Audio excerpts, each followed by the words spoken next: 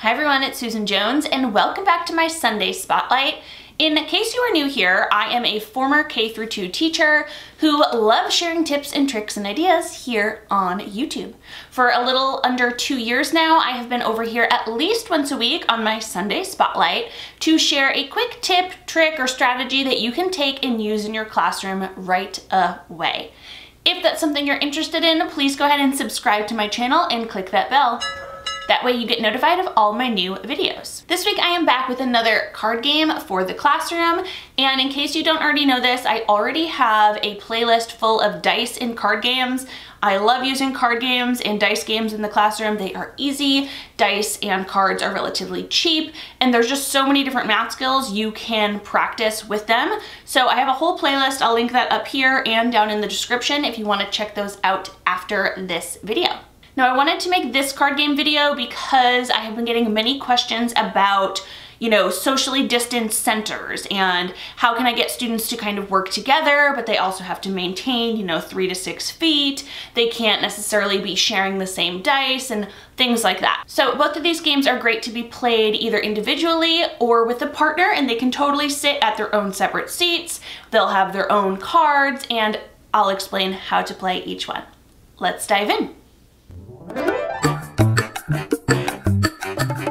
The first card game I want to share is called Flip to 50 and just as easy as it sounds, all you're going to do is have students split a deck of cards. So they will each get their own half of cards and basically they're going to kind of race or flip and see who's the first one to 50.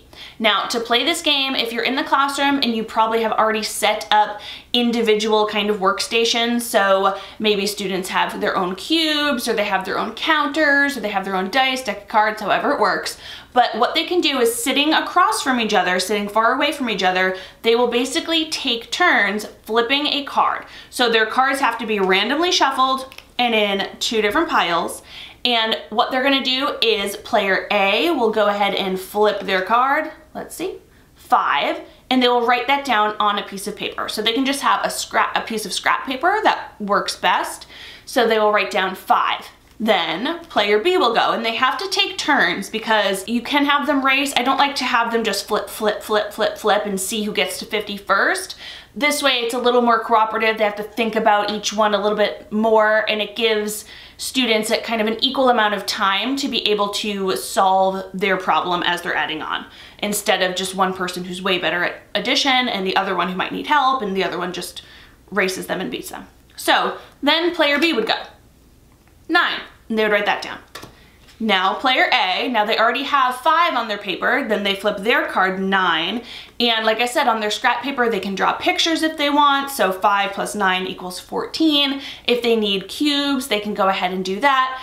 Whatever their process is for solving is totally up to them, but they just keep uh, keeping track of what number they're at. And the first student that makes 50 is the winner.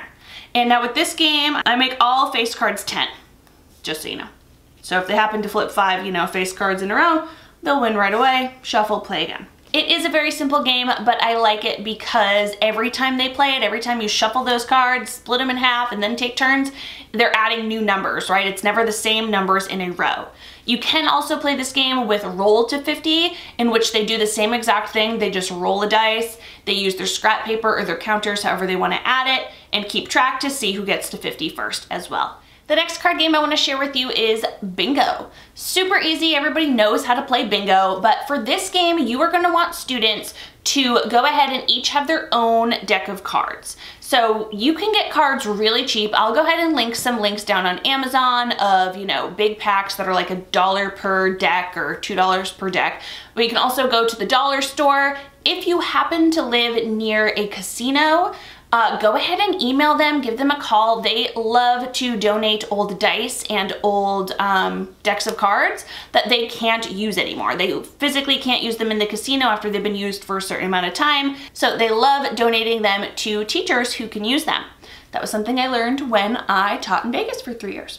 So get your hands on some cards and the way this is played is you will actually take out all of the face cards. So students can take out all the face cards and then they will go ahead and randomly make a four by four grid on their table or on their desk. Okay, so whoever is playing this game, whether you're doing it whole group or small group, whoever is playing bingo is going to need their own bingo board, which is essentially going to be a four by four grid with all of the face cards taken out of the deck. Now the caller, so whether it's you, the teacher, or like I said, if you're doing this in a small group, you may have it so two students are playing and one person is the caller. And the caller is just going to use another deck of cards with no face cards. To play, the caller will be able to flip over a card. They will say nine. And whoever's playing bingo will just look inside theirs. Any nines that they have, they will turn upside down. Then they go again. Four. No fours. Three.